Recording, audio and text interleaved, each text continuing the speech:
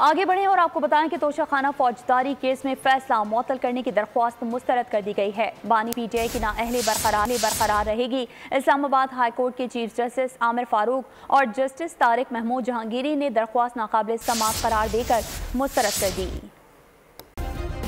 Subscribe करें और bell दबाएँ ताकि कोई खबर रह न जाए।